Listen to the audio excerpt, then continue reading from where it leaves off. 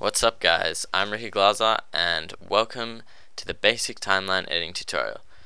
We're going to be using Premiere Pro but as I said before, the principles we talk about can really be transferred into any program, whether it be Final Cut, Vegas, you know, whatever, Movie Maker, iMovie.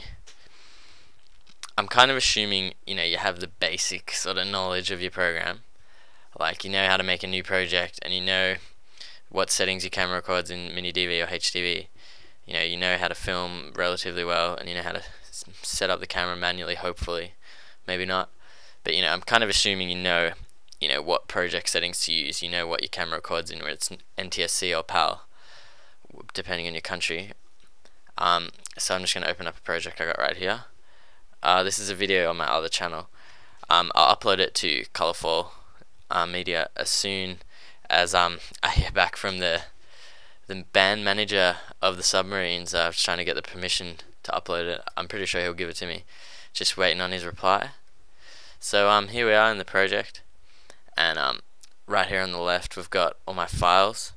Now it's really handy to just keep all your files in one folder, same as the project folder, you know, to avoid like problems happening later on, you know, offline media.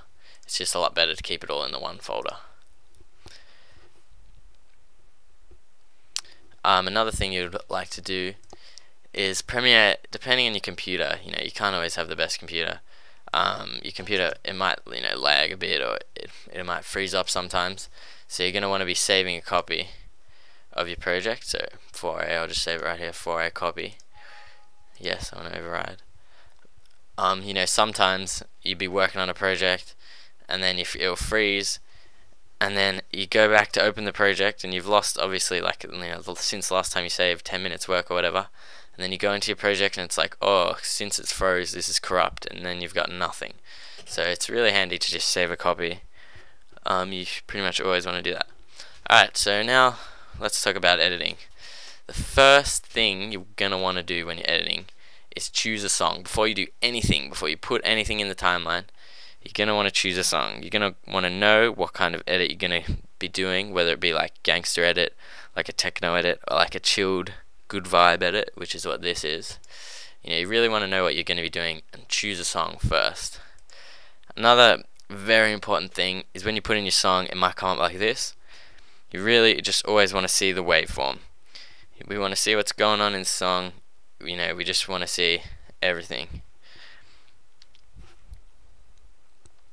So once you got your song, like the most important things, what makes a good clip is generally the, the song, whether people like the song, and how well the clip flows. And making the clip flow is very easy. It's just it has such a great effect. You know, it's just really easy. All you have to do is just edit everything. You know, you can almost do everything. Just you want to edit everything on the beat. So you can see here we've just got a basic cut from shot to shot and from shot to shot again here. So we just have a few basic cuts. Now, you know, if you just had them without the song, I'll show you. You know, it doesn't look too special. It's just like, yeah, it's like just cutting. But now with the song, you know, the way we've positioned these clips to change, it's just right on the beat, and it's just it just flows really well. Like, we'll have a look.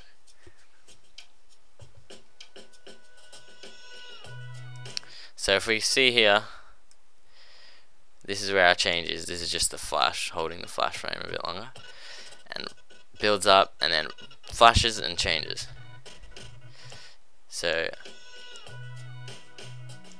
we really, you know, it has a really strong effect. Like that's the main thing you do when you're editing. It's very like it takes a lot longer, but that's just, you know, that's what you want to do. You never ever just want to put in your clips and then just slap on a song at the end and just not even check the beats and just render it out. That's the worst thing you could ever do when making a clip.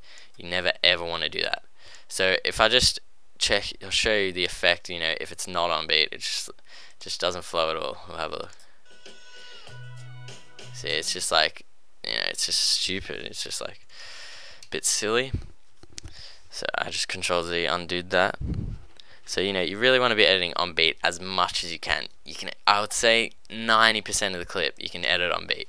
And you can edit you know the start of the clip, the end of the clip, the pop of the trick, the land of a trick, you know landing on a rail of a trick. There's so many things you can edit on beat. And I'll just show you another example. um, at the end of this clip, we've got you know the nice silhouette shot, and that's right on beat again. So you can see it just as it hits that, it just changes. So the cut can be the cut's very effective, you know. And now I'll show you an example of a land. He walks up, and then he checks down the land. So as you can see, just on the such a long time now, just right on there. Just really nice flow, you know. You're gonna be want to you want to try and do that as much as you can in a clip. You can never do it too much. Just all the time, you just want to be doing that. Um, another thing, you know, with transitions, the traditional cut, just like editing on beat, you know, it's really effective. You know, you want to do it as much as you can. I, you know, you can just see the cut and the fade you know, your fades just here, video transitions, dissolve, cross dissolve, you know, you just drag it in. But yeah, you never, pretty much, I don't want to say never, but you really don't want to use these, you know, cliche transitions, you know, movie maker transitions or whatever. They just, they look really bad and really tacky. Like I'll show you 3D motion cube spin. You know, it just looks, ugh. Ugh, you know, you just, you don't want to be doing that. You just stick to the cuts and the fades, and you know a few you can do like the more advanced things, but just for now, just don't do those cliches. Just stick to the cuts and the fades. Uh, just a couple other things I want to touch on is um if your preview is lagging here, this is just strictly Premiere. If your preview is lagging here or your computer is lagging when you try to preview, you can just do a bit of a right click or on a Mac control click but I thoroughly enjoy right clicking and just go to draft quality it might be on high quality or um, automatic quality but just make sure it's on draft quality and if you're wondering what these red lines here when you got all green lines it means it's rendered out? If you got red lines you know your preview might be a bit more jerky. So before you um watching it you just want to hit enter and just render the files out and then they'll be a lot you know play a lot smoother. Um, one other thing, if your computer's lagging a lot, it might trick you, and so it might you might see the land and then the sound will come later, but in reality the sound is earlier. It's just your computer lagging. That's why you want to look at the waveform so you can match it exactly. So you know, even if there's lag, I know that's exactly on the beat. Well, that's a dissolve, but you know that's exactly on the beat. Um, one more thing, Premiere tip is uh, if you render it out, here's my audio level right here, and you can see it's nice and green. Um, if you're getting these turning red, it means your audio is too loud, and then when you render it out, you might get this really nasty crackling, you know, and you don't want that. It sounds really bad. And um, I'll just show you how to solve that now. If you go to Window Workspace, we're currently in editing. That's this default layout, and you just go to Audio, and you can just you see I've already done it here you can just turn it down if I turn it back up you'll see when I play oh it doesn't go red but certain things it might go red. So you just turn it down to make sure we're not going to be getting any of that nasty crackle. So I'll just go back to editing now. Um, that's pretty much all I wanted to say in this first tutorial. You know it's it's not I you know it's not really this isn't really a tutorial. You know, it's more just like a guide, a loose guide of how to edit a skate video. You know, the coming up like later in the ramp slow mo tutorial, it's going to be a lot more like do this, do that, do this, do that. But um, this is a lot more of a guide, loose guide. So um, uh, just to sum up, always pick the song first before you edit. That's the first thing to do. Um, edit everything you can on beat, almost everything, and um, yeah, just don't use the cliche transitions. Um, that's pretty much all.